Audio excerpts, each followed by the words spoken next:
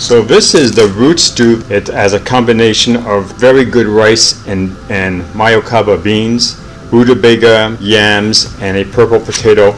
It's just plain delicious. It's to be the base for what we're to be doing today. This is a purple cauliflower, brand new from Sprouts. Let's open it up.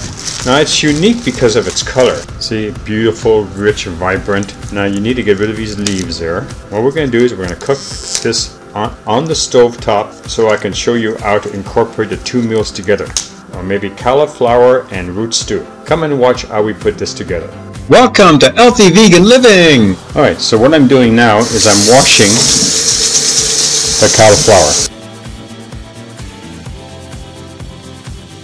And while I'm washing it, I'm going to take it apart. Now, I don't eat these leaves, though some people do. The next part, once it's kind of washed like this, is I'm going to separate it from the stem. So the flowerlets will fall into the strainer.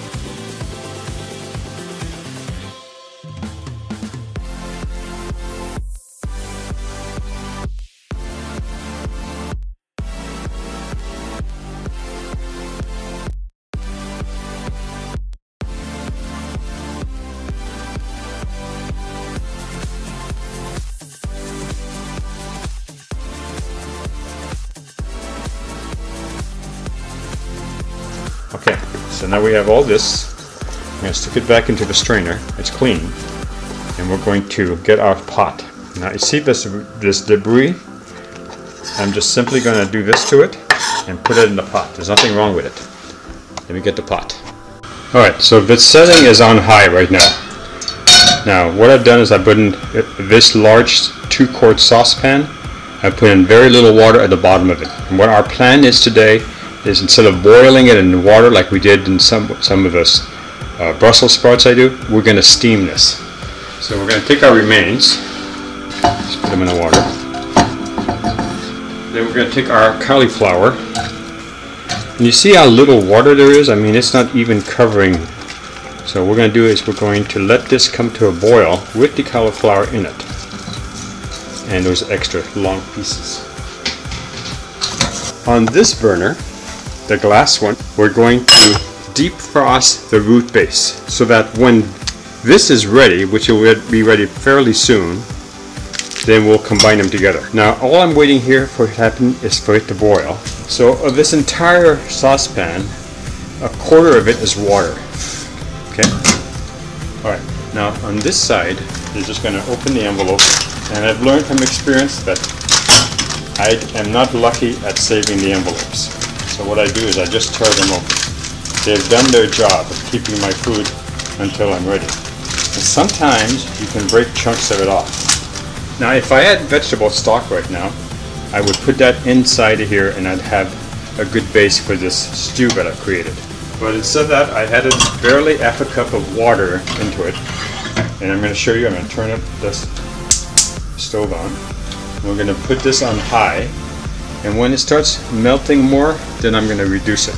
Now because you're running two things at one time it's best if you stay in the kitchen. Now I'm going to put the cap on here I can get that to cooperate just so that it'll melt a little bit faster. This is already getting ready to, to boil. When that happens, then we set the, the timer for 15 minutes. And as soon as we see that, then it'll be ready. This little piece down there that I had made originally. Now it's been a few minutes since I last saw you, and already what has happened is this has collapsed upon on inside the, the, the saucepan. So now we just have to wait for the, now remember you're not re-cooking this. All you're doing is defrosting it. The, the gas on high, as soon as it starts melting. Okay, the cauliflower is now steaming. Now we're going to put the cover on top. We're going to reduce the heat to, to low. And here, on the other side, right here, where my hand's at, what we've done is this is still on high and it is still defrosting this, this frozen stew. Now as for the cauliflower, there's a lot of cauliflower, so only a portion of that will be used for my lunch. Okay, when you're using these glass type of uh, saucepans, you have to keep you have to stay in the kitchen and you have to keep stirring it because it will char your food your your food that you're uh, you're trying to defrost. Now I've already moved it from I mean or low because most of it is now defrosted and ready to be used. We have 10 more minutes to go on the timer for the cauliflower. The next step is to drain the cauliflower. The timer just rung. Take your saucepan, remove the cover carefully, and just carefully push. You can also see that the water that comes out of it is purple. Well, alright, so once it's drained, now move your purple cauliflower to your plate. And what we're going to do with these, store it, real easy. Keep a plastic container around. Before you put this away in the refrigerator, let it cool a little bit. So we'll leave it there. And because you turned on the stove range, make sure that you, you turn it off. Your, your range is off. The next part of this is to put your delicious stew. Now maybe that's too much for some of you, but you know, when you eat mostly vegetables, this really helps. So that's the plate. So here you have the, the stew with um, rutabaga, yams, and purple potato, mayocoba beans, and long grain rice. Over here we have today's feature, which is the purple uh, cauliflower, and this is a this, uh, a plantain apple dessert, a complete and delicious meal for me. Thanks very much for watching me put this meal together. I look forward to seeing you in my next video.